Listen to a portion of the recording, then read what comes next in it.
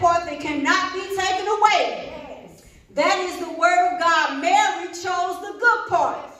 Although Martha was comforted about many things, and the Lord had to tell her. He had to call her name a couple times. Martha, Martha, you're troubled about many things. But I thank and praise God, he had to let her know that Mary chose the good part. She chose what could not be taken away. And I thank and praise God for the word of God. So at this time, we're going to present to some and introduce to others the pastor of Upon This Rock in the House of Prayer, Pastor Paul King. Let's shout glory to God. Hallelujah. Yes, give him the glory that's due his name. God bless you. Amen. Sister Tony, God bless the saints tonight. Amen. Thank you tonight. Amen. For just him, him being God. He's worthy to be praised. And to be in the sanctuary, the service tonight on a Friday night. Amen. To be in his presence, it makes life worth living. Amen. Give us to know we can continue on in his name. You can make it. I can make it. We all can make it. You that's in the internet land, you can make it too. Amen. We thank God for you tonight as we are in his presence. Let's look to him. Father, again, we thank you and praise you for the service thus far. All that's been said to give your name the glory, the testimonies, the praises that have come up, amen, from your people. You called us out to do it, to show forth the praises of him that brought us out, and that was nobody but you. And as we be found on earth, oh God, ushering up praise unto you, we realize the blessings of the Lord comes from above. They got to come from above and not beneath because you came down and you said we were from beneath and you were from above. So we count it a joy to have this enlightenment that so many men are struggling to their own destruction with scriptures. You chose us to give us an enlightenment. You said, my sheep know my voice and a stranger they will not follow. And you loved us so that you said you would give pastors according to your heart that would feed us with knowledge and understanding. Thank you for your care, your love, your concern, how you're looking after your people in times like these. Stretch out your hand and have your way in this word tonight. Send it forth to inspire and to encourage. Send it to give hope to them that are without, to build up and to strengthen your people everywhere. Jesus, in Jesus' name we pray. And all of God's people said amen. Amen. Come on, let's give him a hand praise. Hallelujah. Hallelujah. Oh, bless his name. My soul delighted him. Oh, bless God, great name. Thank God, amen. Thank God for you tonight. Amen. Praise the Lord. Me and Brother Brian in here represent the brothers. Amen. Tonight, amen. They got us right now a little bit here, Brian. But that's all right. Praise the Lord. Thank God. Rejoice, rejoicing right along with him. Thank the Lord. He's doing great things. It's always a blessing and a benefit when the handmaidens and the sons of God can go forth together. Amen. After all, that's what it's about. Praise the Lord. You can be seated in the presence of the Lord. We thank God tonight, amen, for the heart, amen, of the people of God who is a great people. Yes. Count the privilege and the honor to stand before such a great people in times like these. Amen. Who is in awe the apple of God's eye. Amen. Don't never let the devil tell you no different. Amen. Or nobody else that he used to put you or speak you down. Amen. Because after all, he came from heaven to do this thing that you might be what you are in him. Amen. So see yourself like God see you. How about that? Amen. Praise God. Be the royal priesthood, the holy nation, and that chosen generation. Praise God that He called us to be. Thank God, amen. Nothing wrong with serving the Lord. We're going to be into the Word of God tonight. We're going to go. Uh, we're going to go back, if you allow me, for part two. Amen. Of Jesus accomplished His mission. Amen. Praise the Lord. We want to share it in part unto you that we can uh, be delivered of this. Amen. And be benefited all together. Is that all right? We are in such a time in our, amen, that we're in today, praise God, for men and women to have a knowledge of and uh, of, of really who God is, and it's going to always be through Jesus Christ. Because he is the manifold wisdom. He, he is that that God manifested himself in. He came in the person of Jesus Christ. Amen. In a body like you and I. Amen. Praise God. That's why I keep telling uh, those that seeking to preach, this body is not man's problem. Amen. Neither has it ever been. It's never been man's problem. God didn't give man no problem now. Amen. Because when we look at the book, it's always good to go back to the beginning. When we look at the book, God made man from the dust of the ground. And what he had was a body like you and I. Amen. Oh, and he didn't leave my sisters out either. Amen. Because Eve had one too. Amen. So at the end of the day, praise God, they walked with God and had great fellowship, and there was a uniting that they had that God saw fit to give them power and dominion over everything. And my God, that relationship they had was eternal. Praise the Lord. Because note now, amen, even before Adam did what he did, amen, the body was designed to be eternal. Amen. There was no death in the body. Come on here. Amen. And there was no death. There was no disobedient act that had taken place. And so man wasn't even on time. Amen. He was in, he was in eternity right down here. Somebody say amen. Praise God. That's why it's good to go to the next level that we can see, amen, what we have not seen and hear what we have not heard, beholding who God is as he is declaring because he's speaking to us in relations to he is, to he is, that we might come to know him and be as he has called us to be. So when we're looking at this and we were teaching and preaching from this, amen, uh, on Sunday, amen, realizing Jesus accomplished his mission, realizing who Jesus is, amen, and who he represents, as John saw it, I mean, there should be no theologian or Bible scholar, and it makes no difference what your position may be in church. If they that was eyewitnesses saw it like this, in the beginning was the Word, Amen. and the Word was with God, and the Word was God, right? Amen. That same Word was taken and made flesh. You mean to tell me Isaiah and all them was right? Amen. A body has thou prepared me. Amen. The very one, amen, that is really the author of the Old Testament and the New Testament. Amen. The one that is Alpha and Omega. He is the one that had the brilliant plan of salvation. He is the one, amen, who is all wise, all wisdom, amen, comes from him. Came up with this brilliant plan to redeem man from the disobedient act, the curse that came in. Amen. God Himself, praise the Lord, who counseled with no angel, who didn't talk it over with the 24 elders, who didn't send Michael or the ward angels. He saw fit to come Himself. And I love the way God moved because you can't rush Him. Amen. I mean, you can't make them go slower. You can't make them go faster. I mean, because he's God. Everything he created was to serve him and to do as he have given them to do. I, I like that because when you mature and you grow up, you realize you can't make God. Amen. I mean, we can't do like, like, like a dog, go here, go there. Amen. No, we are servants of his. We are his children. We just do, amen, what he would have us to do. And in so doing, he watch after us because he cares for his people. Yes, somebody may need to hear this tonight. He cares for you out there.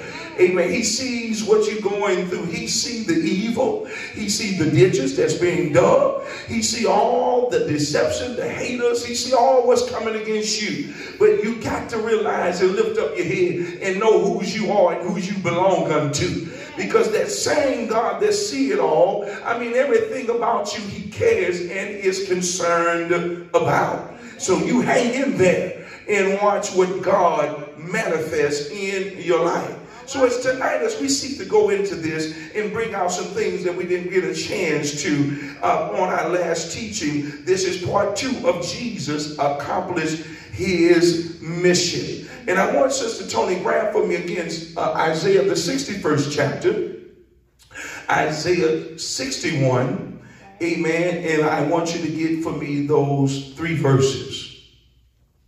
Amen. Of Isaiah 61. 60, 60. Isaiah 61, 1 through 3. Amen.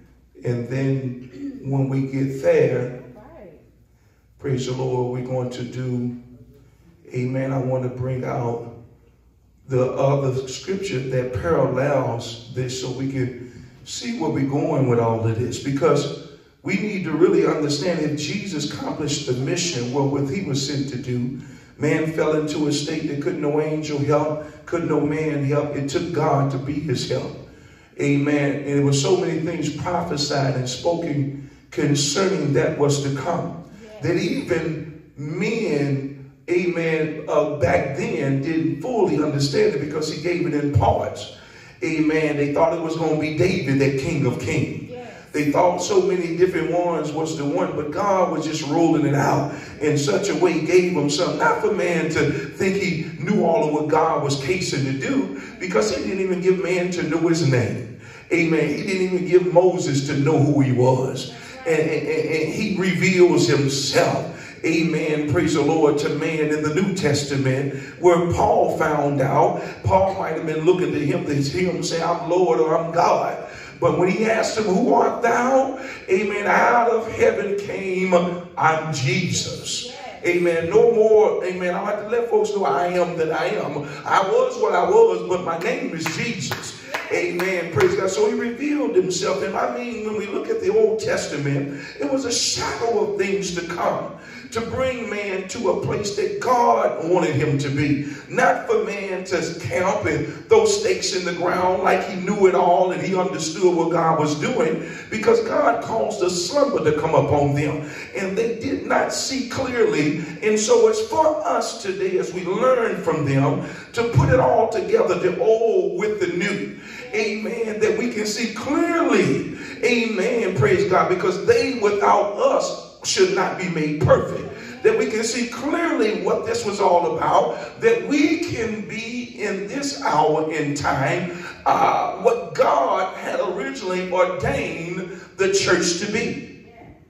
And that men and women, amen, if you allow me individually, will come into, watch this, amen, cl- a clarity of your mission, amen, or your purpose of, of so many like what is my purpose in life? What is my what is, what lord why am i here? Amen. That's why it means so much to come to jesus and come out the door that he can make us to know because we come up with all type of ideals before we come into the light oh i'm gonna be this i'm gonna do that i'm gonna do that.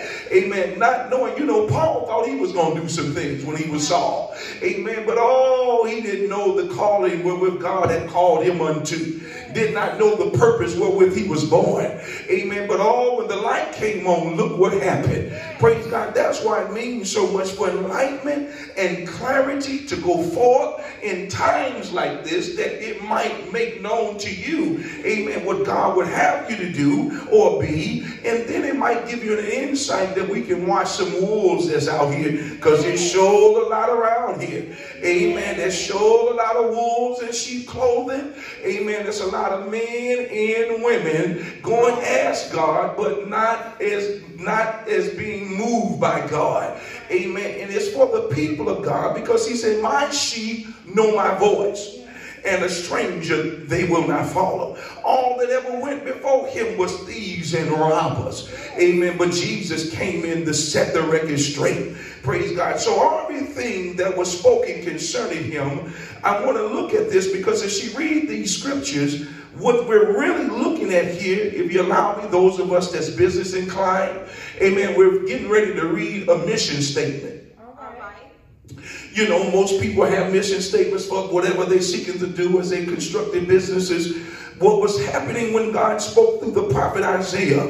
He was giving the mission statement of what was going to be done and what he come to do. So if you don't mind for me, Sister Tony, grab for me Isaiah chapter 61, 1 through 3. What do the Bible say? The Spirit of the Lord God is upon me. Mm-hmm. Upon him, yes. Because the Lord hath anointed me to preach the good tidings unto the meek. Remember, they didn't know his name as Isaiah was revealing this, as God was making them to know. Go tell them this. Keep reading. He has sent me to bind up the broken heart. Oh, they didn't know who is me. Who is me? Is they talking about Isaiah? Is it talking about the other prophets? Who is me? Keep to, reading. To proclaim liberty to the captives. Uh-huh. And the opening of the prison to them that bound. Oh my God, God is in a dimension, a dimension where it's the third level. This thing is so spiritual that it have left them. Amen. That they have, what is all this? What is who is this about? What is this about? Amen. Who who who house is this gonna come out of? I mean, who is all this? This king that gonna be a king that do this? Amen. They thought this thing was in their day. I want to share this like this because you and I know his name, but with clarity, we got to understand when the word was being made manifest to them and through this prophet Isaiah, they did not know his name. They did not know what you come to know about the gift that God gave. They, they just heard the promise. They just had the scripture. Amen. They had the scroll that God gave Isaiah. Amen. To hold on to and to cleave to because even in their day, they needed some good news. Even in that day, men's hearts were broken. Amen. And there was some bound. And I, I mean, look at here. They were captive to other nations, but they didn't really realize because God didn't give them to know yet. They were bound to iniquity, bound to principalities, and bound to Satan powers. Amen. The liberty uh, was to come, amen, to set the captives free. The great liberator, amen, praise God. It wasn't the ones that sat on the natural thrones. It wasn't the kings that was exalted. Nah, uh, not the type of liberty that was going to need to come. Amen. Only God can do this thing. Amen. It was him, praise the Lord, the whole time. But Isaiah is just prophesying what God has given him to say. God not even making him to know everything, just tell them this. Keep reading to proclaim the acceptable year of the Lord uh-huh. and the day of vengeance of our God to conquer all that mourn. Oh, somebody need comfort. To appoint unto them that mourn in Zion, mm-hmm. to give unto them beauty for ashes. Yes. The oil of joy for mourning. Look at here. Look what God's going to do. The garment of praise for the spirit of heaviness. We can take some of that. The church needs some of that. Some of these sanctuaries need some of that. Amen. We need the garment of praise for the spirit yes. of heaviness. Amen. I mean, my God, there's a heavy spirit that have come in that's trying to sit down on the people of God. Sit down on your mind. Sit on your spirit. Oh, but the Bible said the spirit of the Lord God was upon me. Amen. The Spirit of God was on him to do some things. He come with a mission. He's outlining his mission. Come on here. That they might be called trees of righteousness. Ooh, my God. The planting of the Lord that he might be glorified. The trees of righteousness. My God, to become a tree, you got to grow amen, that thing starts real small, but if it stay rooted and grounded, and get through the seasons of winter, summer, you know, get through the four seasons, that thing find itself in doing and all that come its way, praise the Lord, it got ways of the nourishment that comes from the nature and grows into a tree. Mm. Amen. Praise God. The same type of trees that they talk about in some, because God always signified trees and he looked at trees like men. Amen. My people, praise the Lord. You look in there, I can remember my father, the late pastor Dallas J. King Sr., had a dream at one point in time. Amen. And the Lord showed him trees. Amen. And he saw the wrath of God beating trees. Amen. I mean, tearing them up. Thank God. And God gave him to know, amen, they were them trees in the dream. You saw trees, but they represent men. Look, the same God that sits on the throne. Uh, amen. Oh, I don't know if I would want to be on that side to be getting beat. I'd rather be getting blessed. Amen. Because at the end of the day, the mission that God's came down is that man might be saved, not that he might be destroyed. Man might be delivered, not that he might be bound. Man might be healed, that man might be made free. When we look at this, amen, let's take a look at this. This mission, amen, with the Spirit of the Lord being upon this individual, upon me. And I'm sure, amen, as Isaiah gave it out upon me, people that's not spiritual and people, they just looked at it like it was him.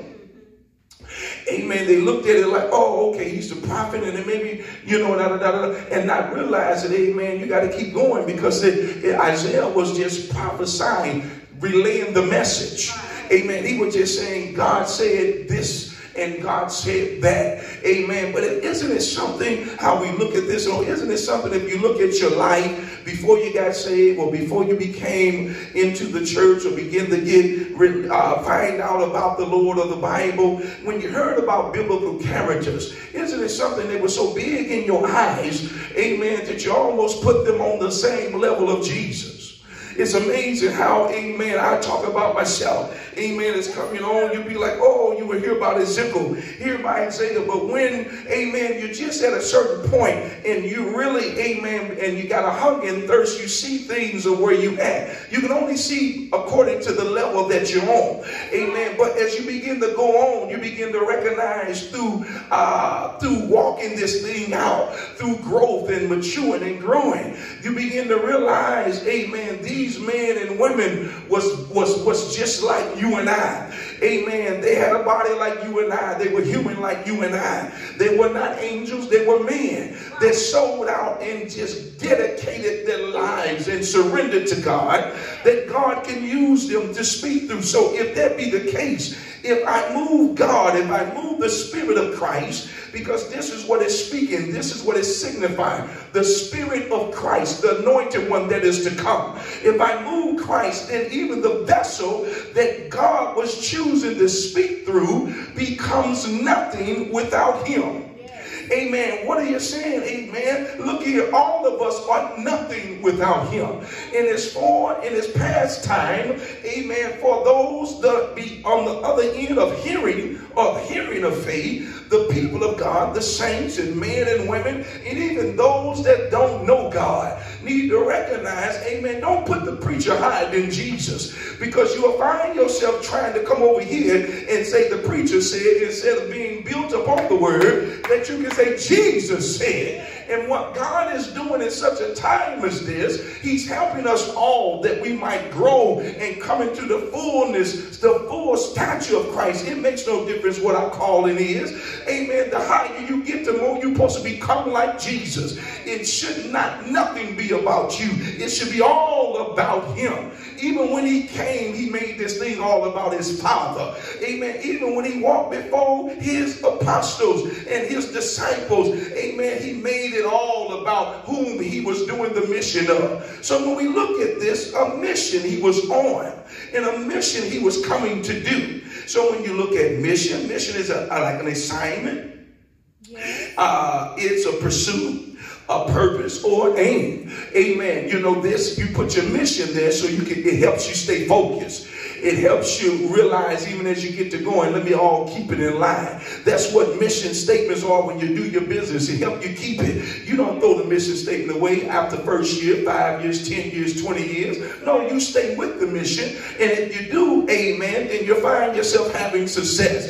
And so what Jesus did, everything that was written of him, amen, that came out the mouth of holy men, the prophets that God used, I mean, it was a lot of statements concerning him.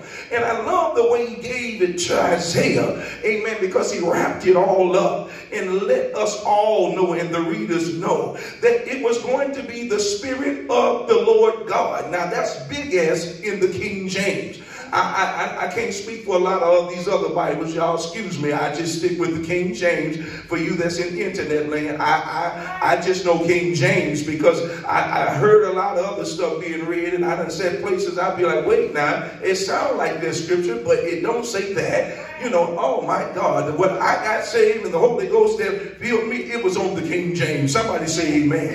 And so don't put down to anything, but I, I just begging folks stick with King James because all this other stuff came after anyway. Amen. And if man be honest, because I'm going to hit these blind leaders, if man be honest, they get these other Bibles because they like how it sounds because they got a chance to alter that. Let's move that over there and use this word. Look at here. Uh-uh. That's too close to He said, don't add, don't, don't touch it. Don't put, uh-uh. If you, look, I like that because you can understand it better. No, no. Amen. If you're looking for understanding, seek God. If you're looking for understanding, you can understand English. Get before God, say, God, make me to know. And if you are His and you've been one He chose to feed His sheep, He's going to make you to know. He's to open up your understanding to the scriptures. And that right there, amen, should be enough for many people to say, wait a minute, let me not mess with this thing. Because if I've been called, Lord, you're supposed to make me to understand these scriptures. Because I got to preach these scriptures to that that you washed in your blood,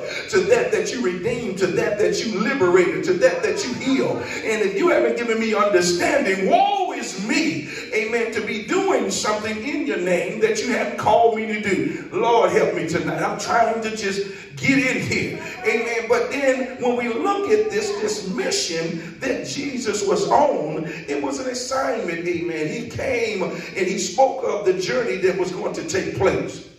Or you allow me, uh, the purpose, the goal that he was after. Yes. And he was specific with the task that he was going to do. I mean, my God, it talked about the sheep being led, amen, to his shears as a slaughter. I mean, he was specific amen, of what it was going to take, even in the beginning when all this started, when he spoke and he passed the judgment upon creation and he began to speak and everything whipped it over. Thorns came out on things that didn't have thorns. He caused that serpent to be on his belly. I mean, the hand of God, the judgment of God came in. Amen. Because he was he told man, the day you do, you shall truly die and surely die. And when that happened, I, I, when you go back and you look and you say, wait, God, but you had the remedy on the day you gave the judgments. Because then you come to say, amen, out of the womb of that woman, amen, that uh, the serpent head was going to be bruised. Amen. I mean, out of the womb of a woman, amen, the victorious one was going to come. Amen. My God, everything that was pronounced about this mission, about the call or the journey, the assignment, every word of God that God spoke through men of God, he fulfilled them. Yes. He brought them to pass. Is that all right? Amen. He brought them to pass. So when we look at this, the mission that he was on in order to do so, because there was many, amen, that needed good tidings uh, to be brought to them. Amen. Because the curse of sin was upon man. Good tidings, amen. We need good tidings. It's a time, I don't know about you, amen. I can remember, amen, when my father was still here. And I mean, we would seek to get that atmosphere in that house right. And I say, Daddy, turn that news off. Amen. We don't we, we, we, we want to make this a chapel of praise. I mean, all this political stuff and all this stuff, amen, don't do nothing but cause folks to worry. I don't want turn CNN off. Let's turn some gospel on. Amen. Let's put it on the preacher channel. Amen. Because you can get so drowned with so so much negative stuff and so much strengthless stuff. Amen. If you be a child of God, that stuff will rob from you. Amen. And it cause your spirit to wilter. Amen. Look at many times you need some good news. And I don't know no other good news than to give people in the midst of trouble, trials, and testing times that God is on the throne. Amen. And that everything that he has promised he has accomplished.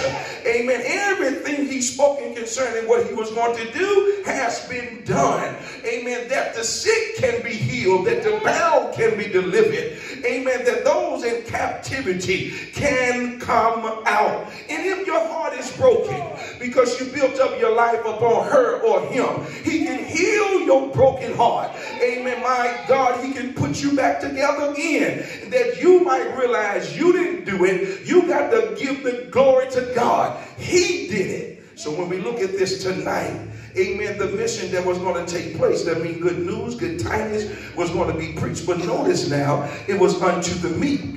That means man was was going to have to get to a point where he had to have a meekness about himself. You have to realize your way don't work. You need help. You can't help yourself. My God, I'm in a, I'm in a vicious cycle. How do I get out? It's good news to the meek.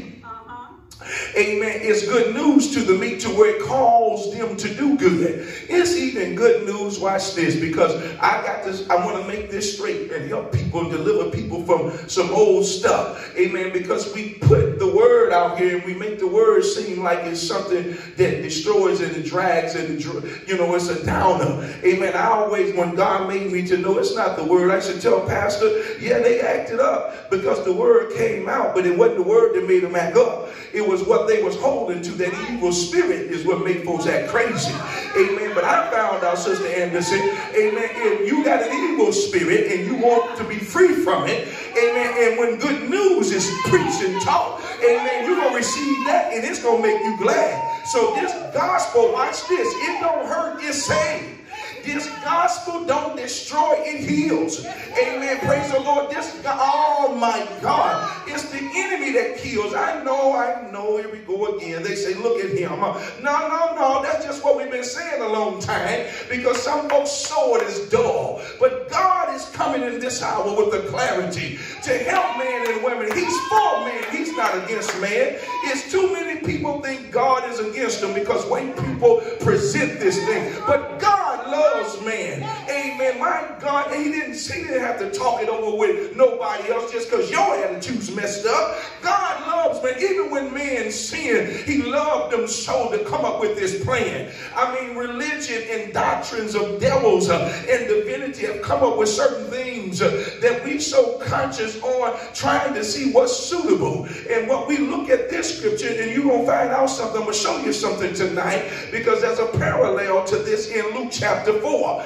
Amen. That you will see when he came and was manifested in the flesh and he began to do all the things that the mission statement was concerning because he had to pay the price. He had to become the sacrifice or the lamb that would be slain that God set up through the duration of time. It was never about the blood of a bull and the blood of a dove and the blood of a heifer. It was never about the blood of some animal because that thing cannot change man. All that did was make God mindful of his completed plan. And therefore he would forbear and long suffer with man. And he would look beyond if you obey and do what I say. Amen Amen. I ain't never delighted in that. I'd rather have obedience. I mean, that's why one he called out and let his spirit be. He said, Oh, amen. I come to do thy will. Oh, God. Amen. I come to be obedient to where the first Adam messed up and, and the quickened Adam come in and he obeys. That, and that obedience, the obedience of one, it delivered man from a disobedient bondage. Amen. And so when we look at this tonight, I want to bring this out like this because the mission that Jesus was on, and when he was sharing this, it was so many that was locked up in obscurity that didn't have understanding. They really didn't know. But then there was few that died in faith that held to these precious promises that realized, oh, there is a king to come. Because we done seen them come and go. We done seen all of them there in their sepulchres. We done seen them all of them. They done went by the way of the dirt. But all the promises are yea and amen. They're still true. And so through the process of time from Obadiah, Amos, Micah, Elijah, Ezekiel, Jeremiah, and Isaiah, he kept saying the same thing. And then he would add a little bit more because he is the author of all this. You know, I, I want I want to help people with something here because when we look at Genesis, the beginning of the Bible. And, and this would help a lot of people understanding crack open because you got people out here that was trying to discount the Bible because they want to make it seem like how can Moses be the author? And Moses wasn't there in the beginning when God made. See, that's where you don't know God. Because if you really knew what we were teaching, then you would realize the spirit that was in Moses or the spirit that gave Moses to say what he said was the very one that said, let there be. And so what God did when Moses had such a desire, which we all should have. And my God, if we're a preacher in the fivefold, you should have a yearning and a burning, amen, to get a hearing from the Lord. And what Moses wanted to do was see him. Moses wanted to see the very one that was speaking to him, the very one that would shake the mountains, the very one whose voice was like many waters. He wanted to see him, and God said, Oh, and God gave Moses, amen, to want that because he wanted me and you to learn something. He put in Moses a spirit to want to see him because that's what God is looking for. Because in this time, the mission that's been accomplished, when you receive Christ, you should want him more than ever. You in your life, you should want him. Oh my God. But God, amen, gave Moses this. No man has never seen me and lived. Amen. Nobody never seen me live. But what I'm going to do for you, amen, I'm going to put you in the cliff. I'm going to put you in the rock. That rock was Christ. I'm going to put you in the cliff. And what I'm going to do, I'm going to put my hand upon you because my power is so glory. It's so much power. My glory can destroy rocks. What I'm going to do, I'm going to put my hand, I'm going to be a shield or a shade upon you. And I'm going to let you see my back parts. And I know, I know, because that's where we went. Because we stay in our corner mind, we say he just saw the back of God. No, no, what God did, he showed Moses what he did in the beginning. I'm going to show you what I did in the hind parts uh, that you might know who I am. I'm the one that said, let there be. I'm the, ah, oh, come on here. Amen. This mission God was on, he wanted man to see him and to know I'm God and beside me there is no other. And that's the message and this is what we're supposed to be building people upon that they might really see who God is. But how can they see him if we can't declare him? How can they see him if the preacher don't define him?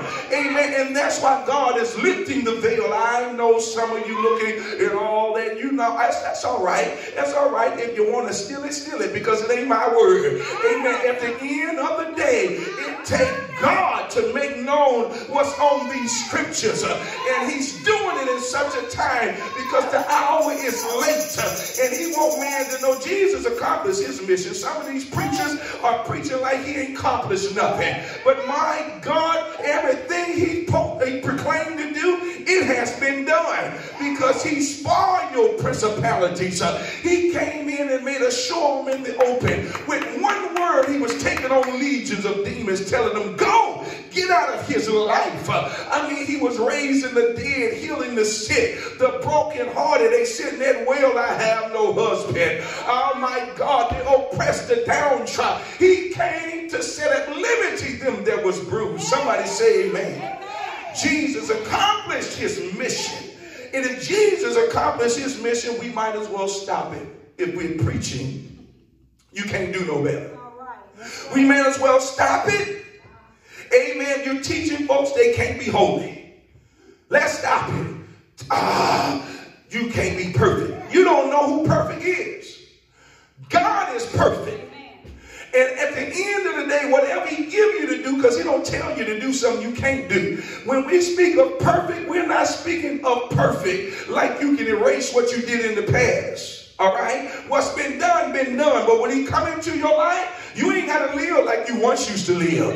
You can obey God and grow in him. I keep telling man, Jesus accomplished a mission show in such a way that you don't grow out of your bondages. You do not grow out of your sins. You don't grow out of your iniquities. You get delivered from all that. What we grow in is Christ.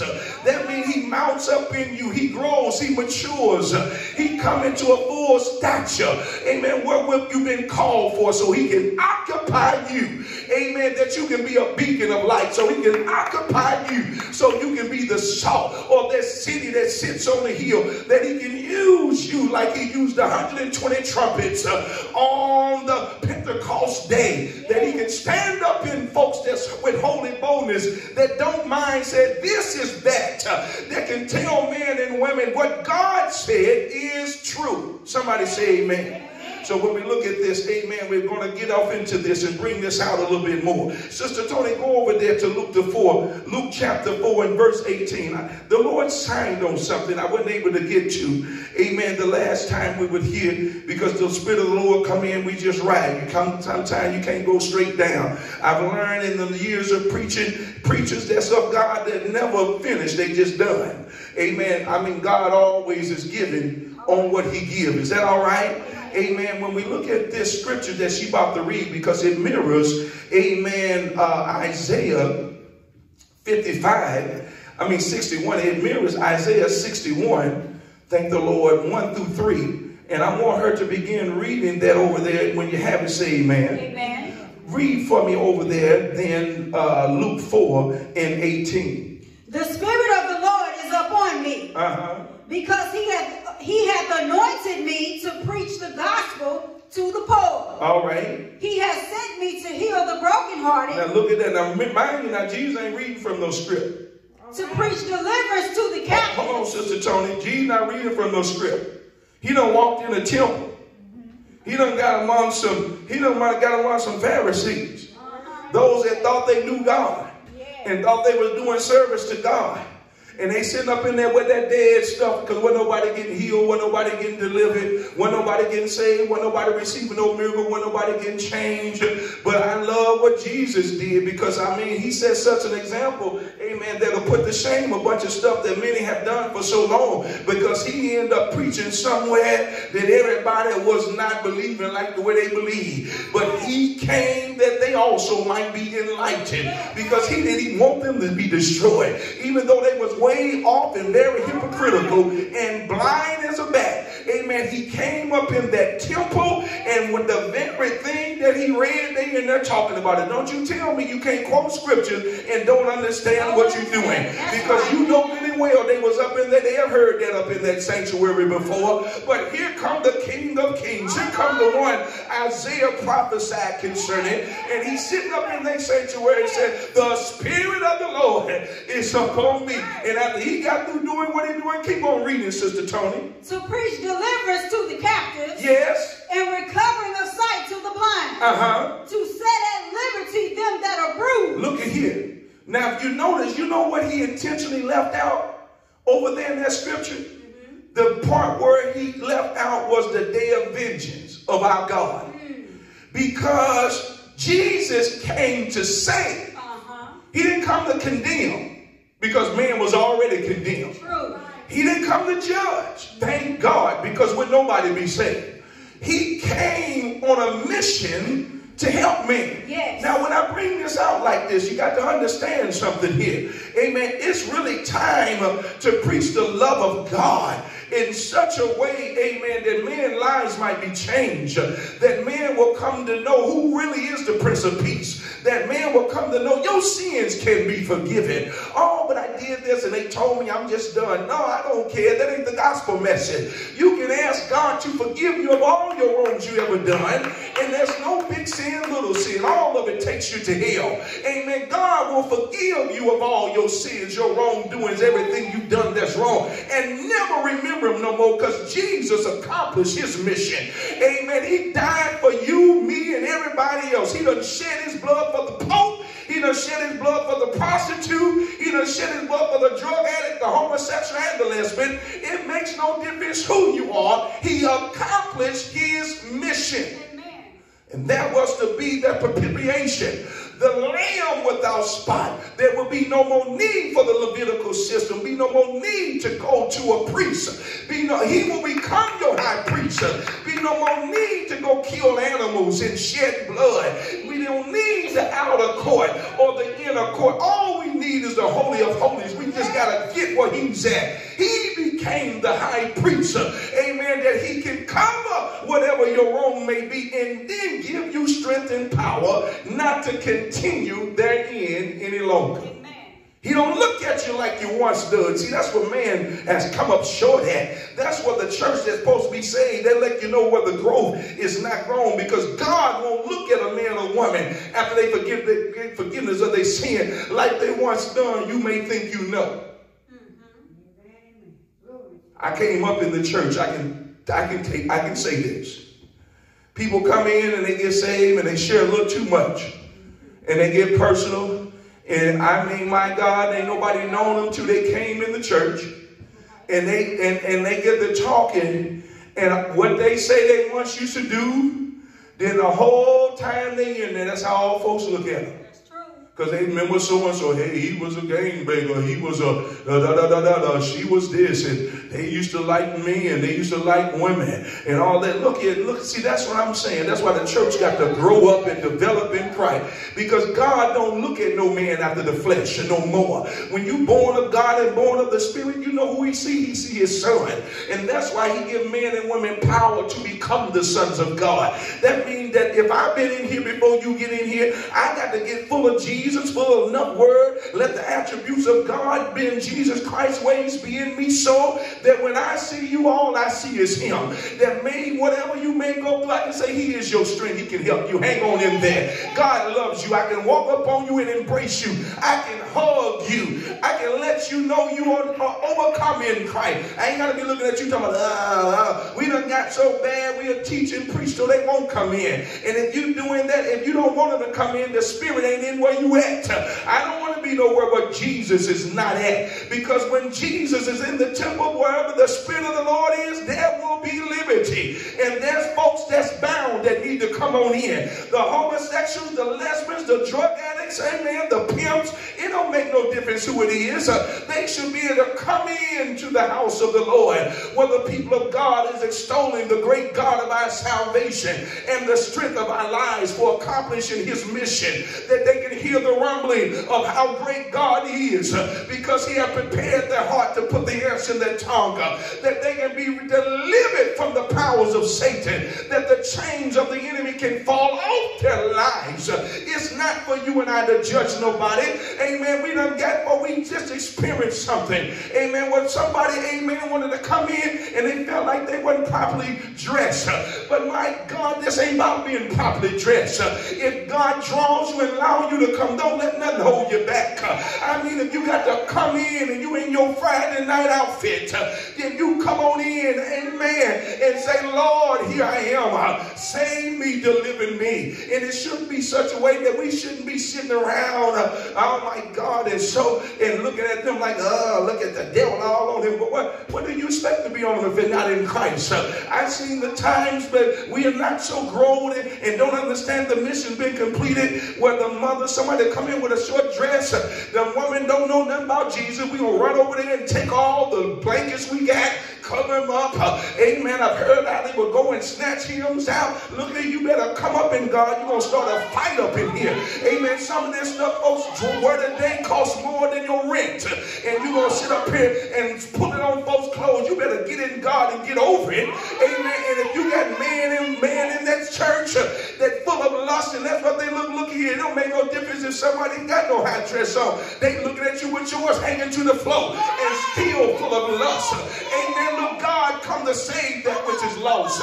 And that's what, amen, upon this rock holiness church, that door, because Jesus is the door. Oh man, God over the house of prayer holiness, look, whatever it is, let it come. Uh, because Jesus said in the word, come unto me, all ye that's weary and heavy laden. It makes no difference what your hang-ups are. Come on in. It makes no difference how you're made up. Come on in. Because at the end of the day, he come to save your soul. He come to heal your broken heart. He come to set up liberty, your bruises, your hurts uh, that you've experienced over and over again. He is your remedy. And God just got one for such a time as this uh, that's going to let you know that he has accomplished his mission. It's not the preacher. It's not the 24 elders. It's not the angels that did it. God did it. He came himself in Jesus Christ. Jesus intentionally left out the day of vengeance because he didn't come in to do no harm to nobody. He came to destroy the works of the devil. Jesus was manifested to put a whooping on Satan right down here. In the Godhead, at uh, the uh, in, heaven realm, he defeated the devil and all his angels. He said, What I'm gonna do, I'm going to come right down there. I see a wall. He come with wrath. He comes with great wrath to do my creation in. But I come that they might have life. I come because I'm a God of victory. I'm gonna look beyond their faults. He gonna fill them with their, his ways, and he gonna make it make them think that it's them. But I'm gonna come in and give light and make them to know the life you once used to live because I accomplished my mission. It was not you. It was the disobedience that was that was in you. The enemy orchestrated your life. And he put all this stuff together. Mm-hmm. But I come that you might have life. I come that you might have new beginnings. I come that you might be a new creature. Mm-hmm. That you can be born again. Don't worry about the old. Don't, don't mind the old. Don't look back. Look forward. Yes. And become all I come into your life for you to be. So when Jesus was on his mission to accomplish everything, because it was spoken with great confidence, you talking about some boldness. Isaiah 61 is, is, is much boldness. The enemy still has a hold on man. I mean, the warfare has not been accomplished yet. He's still in power. He's still reigning and ruling over man. Oh, they had the law, but the law did not come to deliver men from his sin. Some of these religions, they get so caught up on the law, the law, the law. Did you not know even when you call yourself, he said, do this on this day. He said, do that on that day. He, I mean, if you do this, offer this sacrifice. That don't mean you keeping it. Because if you was keeping it, you wouldn't have to do a sacrifice. And you wouldn't have to offer sin continually, uh, uh, offer offer that blood of this or offer that right there. God was trying to let men really know there's another power that's reigning over you. He gave the law that you might know what sin was. Paul said it, it was a schoolmaster. So the mission that God was on, the enlightened man that was controlling you, you can't see. But I know who got you doing what you're doing. I know who's pushing you from pillar to post. I know who got you where you can't put porn down, where you can't put the drug down, where you can't come out of homosexuality and lesbian all the evil things that the enemy has done. No put down to nobody. Amen. Because man, God loves you. Amen. He comes to free you. Even whoever it may be, boy, woman, girl. I mean, at the end of the day, he paid the price for you to get through the door because he is your way out of all of your bondages and all of your pains and all of your hurts, everything that have you, you can come to Jesus and escape the corruption that's in this world through lust. But it got to be preached unto you. That door got to be ministered to you in abundantly. It got to be shared with you that you might realize uh, that He's giving you all things that pertain to life and godliness because all power is in His hand. Uh, the mission is accomplished. Uh, and it's time for us as preachers to take on some courage and get to know God and preach this thing with some boldness and look folks in the face and let them know you can because God said you can. You let them know you can because Jesus paid the price. He told us we can do all things through Christ that gives us strength, and all mean all. If that means living holy, you can do it. If that means living perfect, doing the things that God has called you to do, you can do it. If that means walking in peace, you can do it. But you got to learn, you got to grow, you got to obey, you got to stick with God and learn that He is your everything. And as you begin to develop your personal relationship, uh, you realize it's not me, but it's him. Uh, he's the one that worked the wheel in the due down of his good pleasure in me. Uh, I'm not doing this thing out of, uh, uh, of grievous because his commandments are not. I realize, Lord, you giving me strength I never had before. I don't have the mind I used to have. You come to find out that operation was real. When you got saved, he gave you a new mind, a new heart, uh, and put within you a new spirit uh, and your soul got saved. Though it was red crimson as scarlet. He washed you in the blood of the Lamb. Uh, and you didn't come out red, you came out white. I mean, can't nobody do it but Jesus. Can't nobody do you like the Lord. He can save you, He can heal you because He accomplished His mission. I wanted to bring that out. 4 and 18. He intentionally leaves out the day of vengeance oh of our God. But in Isaiah, he talked about the day of vengeance.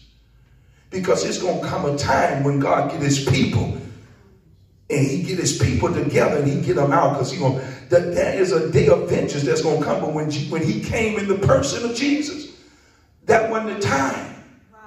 Because he come to save that which is lost. He knew the condition, the state of man. He wasn't expecting man to be holy, even though man esteemed himself to be so. Even though you have religious fanatics and people that was thinking they were better than other people and they had these high positions. Amen. If you don't believe it, go ask Nicodemus. Nicodemus was a chief teacher, ruler in the synagogue, seeking to teach people about God, but didn't even know Jesus. What is it that you're talking about? He didn't understand being born again. No, he did not. And so if he teaching that, what he was teaching, how can you edify or bring into perfection those people that God has called and you don't know him? You cannot do it. It turns into a mess. So, Sister Tony, for me, we get ready, we get ready to be done with this tonight. Now, I want you to go for me over there in Luke the ninth chapter and read for me uh, Luke the ninth chapter, verse 30 and 31. Then we'll come out and finish in John 19, and then we'll be done. Luke 9, verse 30 and 31. Amen. Because as I look at this, I don't know about y'all, but it's for us to realize something. Jesus had his mission. It's for us to know his mission what he accomplished and why he did it and what it was all about. That we might come in to know what our mission, our calling, Yes. what our mission statement to be. Don't be 10, 20, 30 years and Lord, what is my purpose? And Lord, you know, I've been around folks and my God has been saved longer than I've been alive. And they still trying to find out what their purpose is. And they done said in all the holiness churches. And they still seeking God in their knees. What is my purpose? When he done descripted and it's written all in this Bible. I mean, the purpose of wherewith he called you is to show forth his praise. uh, For you to be a light. For you to, oh my God, to be the sons of God. And all this, uh, there's so much description in here. What you're supposed to be going for and seeking to be. And the Lord gave me something tonight as we get ready to let down up in here. Amen. Because when Jesus was in that place uh, on Luke the fourth chapter, and he was saying what he was saying, that if you keep reading, there was a bunch of people up in there. If you don't realize something, them leaders was blind, and the blind was leading the blind. And I mean, my God, before Jesus got into the New Testament, he said, My leaders cause my people to err. Amen. My God, blind leading the blind, and they all fall in the ditch uh, because the enemy is behind this. Uh, I gotta get the one that's head that I can get those that's falling in like ducks. But what I love about God, if this thing comes right and we develop a personal relationship in this New Testament, Apostle Paul said, Follow me as I follow Christ. I mean, I, y'all just gotta stick with me. If I get to going wrong, up get you out of there. Amen. Because at the end of the day, if you develop a personal relationship, then you're gonna realize we all need one another. Amen. Look here, the saints need the preacher, the preacher need the saints. Amen. That we can stand by at the end of the day. We all need God. And so one will help us one to the other. Amen. Gives us the motivation. Many times Paul was in prison just to hear just a few people holding on. He didn't, it, it wasn't about the whole. Amen. Just a few holding on, checking on and gave them strength to, to go through all this affliction and all this suffering. And I mean to tell you, it's time to grow up and get tough. Take some tough skin with you because many are the afflictions of the righteous. But out of them all, the Lord is going to deliver you. Amen. My God, you're going to go through many things with those in your congregation, preacher. You're going to go through those with those that's around you. But you got to be strong and know who you're doing what you're doing unto. Amen. At the end of the day, fully follow and obey God. Because that same God, if he's called you, amen, he know how to move mountains for you. He know how to come against that that come against you. Because at the end of the day, when he accomplished this thing, when he accomplished his mission, he had us all protected. That same prophet, amen, he spoke through and said, touch not my anointing and do my prophets no harm. See, God is a type of God, if we just do what he asks him, uh, uh, us to do, he'll do what he promised to do. And that's why it's time to build folks not upon your organization, not upon yourself, uh, but it's time to build folks upon the rock of their salvation. Build them upon Jesus, uh, because at the end of the day, He's the only one that can keep you from falling. He's the only one that can give you more anointing. He's the only one can add to your spiritual growth, uh, and that's why we're gonna preach and we're gonna teach and we're gonna keep talking about it. We're gonna lean on the horn of salvation. Honk, honk, honk. We're going to blow the trumpet in Zion real loud uh, that Jesus accomplished his mission, uh, that you might accomplish your mission because he win, you win. Uh, because great is he that's in you than he that's in the world. You get I can't out of your vocabulary. Don't let nobody tell you I can't. I grew up in a house my mom and daddy wouldn't even let us say I can't. They didn't like that word I can't. Even when we was kids, when we were corrected way early, don't you say you can't. You can. You can learn like the next man learned. You can do like the next man do. Now, when we get in God, yes, you can. You can do all things through Christ. That gives you strength. And you should want to be around strength. Don't flock to weakness. Not if you want your soul saved. Not if you want to be all that God had called you to be. He didn't just call you out of Egypt. He called you into the promised land. He called you to get in Christ. He told he called you to suit up and take on his character and conduct. It's time to recognize he accomplished his mission and you're not done. It's for you to accomplish your mission. So when we look at this, Sister Tony, when we look over there, I want you to get for me Luke the 19th chapter. Amen. Uh, no, no, Luke 9 and 30 and 31. What did that say? Because this is over that I should have in the chapter where the brothers were asleep and Jesus was praying and his countenance changed. And the brethren, the disciples were asleep. And the Lord showed me, son, just as they were asleep, this is what's happening to a lot of my body. The church is asleep. But it's high time. See, when you get when you when you fall asleep, you have been around folks wake up sleep talking. They don't even make too much sense, do they? But my God, I, I seen when I was in college, I seen a person that could sleep walk, and I thought it was unreal. I thought they was playing. I mean, literally, literally sleep while they were walking, and can walk in rooms and out of rooms. I, I, I thought it was phony. I mean, you got folks that sleep walk, sleep talk. And the Lord gave me, said, look at here. They have not my spirit, not my ways. They sleep, blind. They know not what they do. That's dangerous to be in that case. It's dangerous to be there because, look, we are to be alert. He called us out of sleep. He called us out of that darkness. He calls us and look, he quickened me and you. When he saved you, he quickens you. He gives you, he wakes you up. Amen. Where you realize, oh no. Amen. You realize, nah, devil, I don't belong to you. Nah, I ain't thinking like that. No, I don't do that no more. No, uh-uh, I ain't taking on that attitude. No, sister, brother, you talking wrong. Uh-uh, that ain't what we do over here. That ain't Christ's spirit. I mean, when you awake, you see Christ's spirit and you recognize the devil and you don't follow that that's not as Christ. Amen. And so it's time, amen, look at as you wake up, sit right there that your sight can run on in. Because we don't want to be the example like these brothers. The disciples was learners. It was written for our learning. When they woke up, they both did something very foolish. But God loved them and helped them.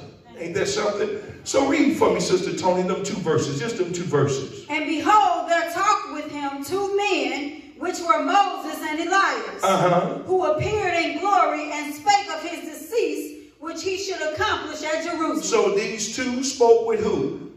Jesus. Amen. And when they were speaking with Jesus, amen, these two, the, when, when, when, when they were speaking with Jesus, we find out What did that scripture just say? That's the 28? Oh, we did 30 and 31. All right, 30. Okay, I'm sorry. 30 and 31. When, read that again. Who appeared in glory, I'm sorry, and behold, there talked with him two men, which were Moses and Elias, uh-huh. who appeared in glory and spake of his decease, which he should accomplish at Jerusalem. Yes. So they spake of his decease, his dying. Mm-hmm. His mission, the mission statement, to do all of what was written in Isaiah, and he came to confirm, amen, the mission was to go all the way and die for our sins. And what ended up happening is Jesus was there at the Mount Transfiguration. And when they saw, when, the, when they woke up, amen, then when they was asleep, amen, when heaven was asleep, when they woke up, they saw his glory. And they began to see some things and not talk right. And they didn't understand what they were seeing. And that's what's happening. A lot of times people won't back up. Many preachers have preached because they wasn't at that level. When God take you to a level, you see what you didn't see. And that's why I'm telling folks, don't be worried about it. Don't get don't get all sensitive. Don't feel uh, uh, no hatred towards it. If somebody got something you don't got, just take it. Amen. That you can go on because at the end of the day, it's God because we'll help us one to the other. When you come higher, you don't see like the way you once used to see. And so they're privileged. They was privileged to be there at the transfiguration and they saw the two brothers talking to Jesus and they let them know you're going to accomplish it. You're going all the way through this thing. They were encouraging. He was getting straight from above. You're going to do this thing. Elijah and Moses, they were sitting up there letting them know, talking with him. And they woke up and they seen this taking place. And out of their mouth, because of where they at, the level they was, to let you know there's levels to this thing. Even though they became apostles, at this time they wasn't. They were learners. They were disciples. And when they woke up, they were sitting up and saying, it was good for us to be here. Let's make three tabernacles. One for you and one for Moses, and one for you, Jesus. Amen. I mean, my God, look at the glory. Can you see? Look at, look at his countenance. And they just looking all, and my, they didn't understand what this thing was all about. Amen. There was just like any other. There was always hearing of the scriptures that knew of the canons. And they were sitting up there esteeming the prophets. And my God, they sought to put the prophets on the same level that Jesus was. But no, we can't do that because Jesus was God in the flesh. And what God did because he loved his church, he loved the followers, he loved the believers, he loved the disciples. Amen. And he sat there and talked to them because they let the glory cloud come down. That same glory cloud that was with Moses and back in the day. He come the glory cloud because look, y'all don't know what y'all see, neither do you understand. But what you can't do, I'm not going to send you to be be preaching Moses and Elijah, not like the way you're doing right here. You got to put them beneath Jesus. You got to realize, now, oh, ah, this is my beloved son. You don't go get three. I mean, it's all about one. And that one was Jesus because that's what Moses was all about. Moses was not all about himself. He just fully obeyed God. That's why he got in. Elijah wasn't all about himself. He went to caves and waited on God for the next mission. Whatever whatever God gave him to do, that's what he did, and then he went back. But he wasn't proclaiming to be some great wonder. And we in the hour time, too many people are doing like the Simons of the world. And people don't realize they're calling people preachers uh, and don't realize you talking to a wizard. Don't really realize you sitting in front of a witch. Because I come to this to know this, amen. If God is not using a man or woman, it is another spirit. Amen, my God. Because when you look at Simon, then when Philip went down there and he preached Christ, he didn't preach himself, he didn't preach the apostles, uh, he didn't preach Moses, he didn't preach Elijah, he didn't preach none of them prophets, uh, he preached Jesus. Uh, and when he went down there preaching, here goes Simon that gave him himself to be some great wonder. And them folks were sitting up under him and they thought Simon was the great wonder of God. But then when that gospel came, because the anointing is upon Jesus. And Philip preached Jesus. And he was anointed to preach Jesus. And demons and devils came out of many people that were sitting right there that thought they knew God. And after Philip got through preaching, Saul saw something. I mean, uh, Simon saw something happening. The Bible said he used sorcery. He bewitched him. And I said, wait a minute, come back here. If the people thought he was a great wonder of God, I mean, that means he was sitting up here talking things that sound like God.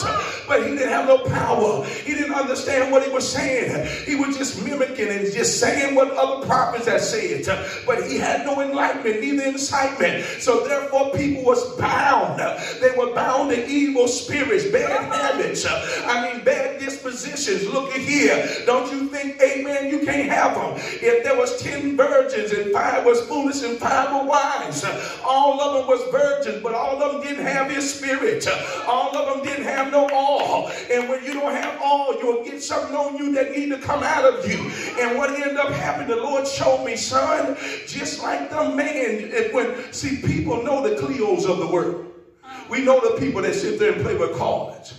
And but we can't see the one that'll put the Bible right there, quote a scripture, run a conference, sit in the pulpit, and using sorcery. See, sorcery is anything to make you see anything else but God.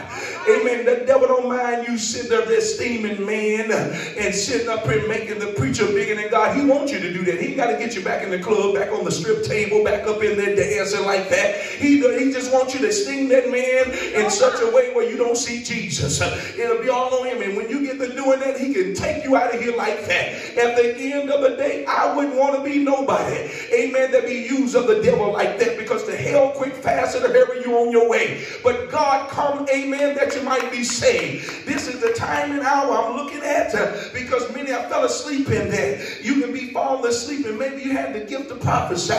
Maybe you had the gift to teach. Maybe you had the gift to preach. Uh, and you don't even realize you sleep because you have not his spirit uh, and your attitude is not right. And instead of you leaning on God to give you information, you track it down like a hound dog. Uh, amen. You sit your put your ears and eyes everywhere. I mean, my God, folks has gone as far as in this day and time and hour. I mean, they want to try to get in on folks' phone calls uh, because God don't give them nothing.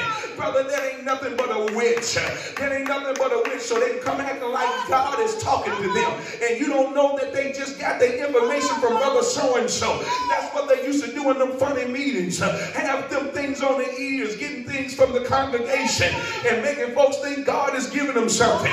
But I got to serve this notice tonight.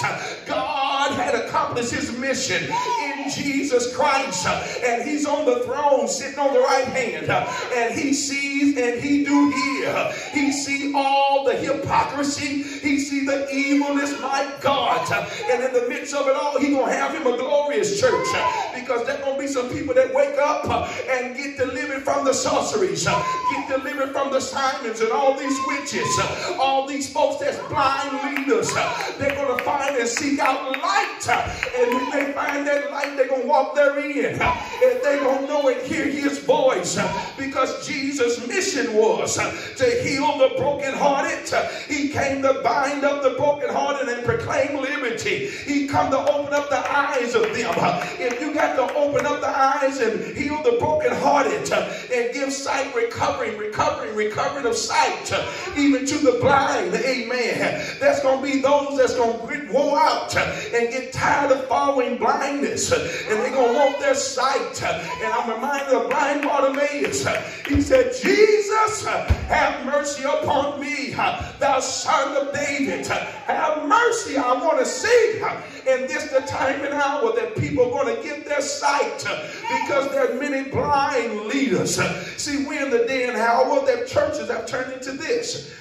People know the church by the church pretty much taking a stand against stuff. Right. I want y'all to know something. All right. But what the Lord is wanting people to come to know the church concerning is to show love. Mm-hmm. That they'll come to know Him so they will learn how to live. Like the way you live. Yeah. Where we can be living epistles that's why you got to learn how to have forbearance. That's why we got to grow in the fruits of the Spirit. That's why we got to learn how to get away from judging those that don't know God that's in the world that haven't tasted of His goodness. I'm not talking about these slow bellies and all these folks that's been planted among us. Amen. I mean, my God, while the while, while man slept, he sowed tares for seasons. We in the season that the tares have rails up, but there's some wheat that God, the shepherd, the good shepherd, is still looking after. And he's watching and he's seeing. And God know how to separate that others may be benefited. He don't want men and women standing in the way of sinners. He told us don't sit in that seat. Get saved. You're supposed to be a door that they can come in because he's the door. You got Christ. Come on to him and let him do it for you. That's how we are. We don't sit there and say, oh. Uh-uh. Jesus can help you. Jesus can save you.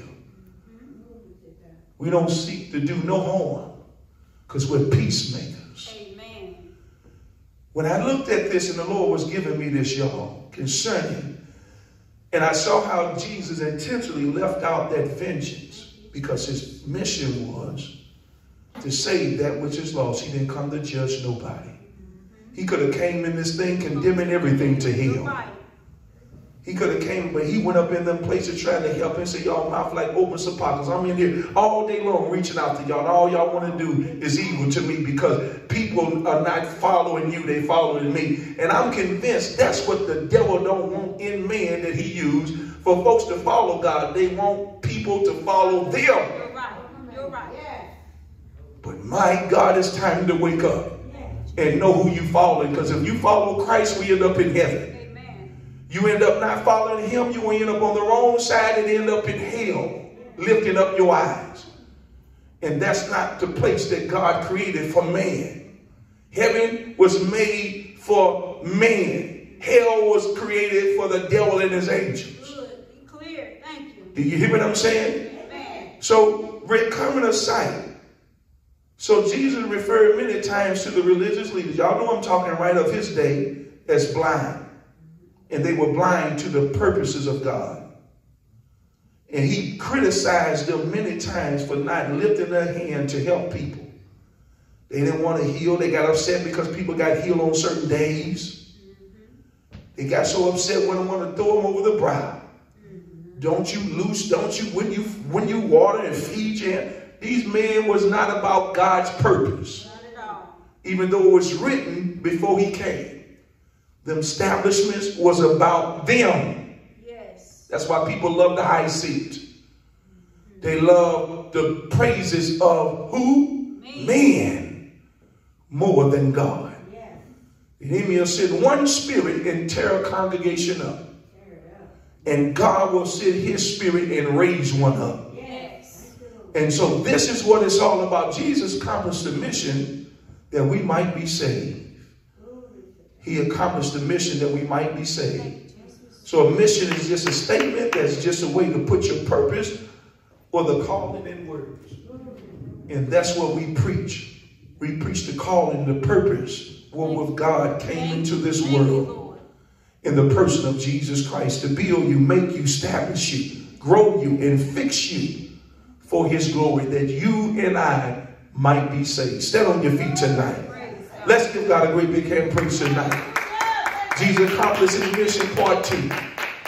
Amen. Is what it's all about. Amen. And if he accomplishes his mission, listen here. You have a journey, you have a task that he puts you to. He's going to accomplish it and help you accomplish yours in him. Is that all right? So we thank God for you that have tuned in by the way of internet. As always, I pray you go with God, he will go with you. Father, in the name of Jesus, we